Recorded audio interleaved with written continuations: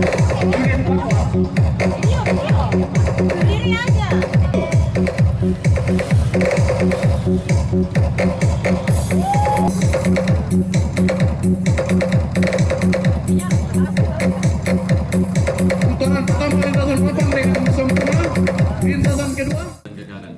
Memberikan edukasi kepada masyarakat Kota Jayapura tentang keselamatan dan keamanan dalam berkendara di jalan raya, Direktorat Lalu Lintas Polda Papua melaksanakan lomba safety reading dan safety driving berlangsung di lapangan PTC Entrop Jayapura Selatan dan pesertanya adalah para tukang ojek di Kota Jayapura.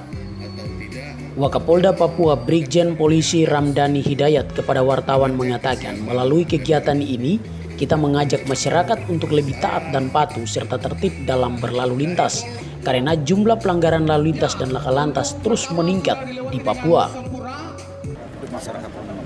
Nah, beberapa kali juga kita sudah sampaikan bahwa di Papua ini saya berani nyampaikan 95 sampai 98 eh, laka lantas khusus laka lantas itu disebabkan oleh minuman keras itu baik dari masyarakat maupun dari anggota eh, TNI Polri. Nah, maka itu dengan kegiatan safety reading ini kita harapkan masyarakat benar-benar eh, terampil dan tahu sebenarnya tahu dulu tahu dulu kemudian kalau dia sudah tahu ini terbiasa kemudian terampil dia akan melaksanakan suatu kegiatan dan mudah-mudahan ke depan kita akan melaksanakan secara rutin baik itu pelatihan maupun pertandingan-pertandingan seperti ini baik untuk masyarakat maupun untuk eh, anggota kita.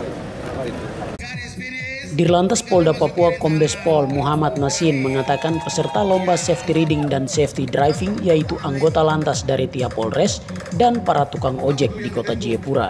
perwakilannya satu, setiap perwakilan satu orang Pak ya Pak, berarti yang kan oh, masyarakat itu ada beberapa pangkalan ojek baik yang online maupun yang ojek pangkalan.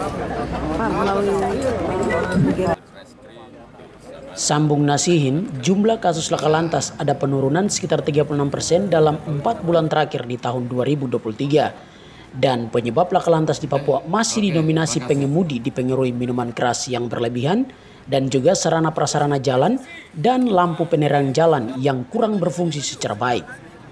Melviandres Pemanggori, Noken Live melaporkan.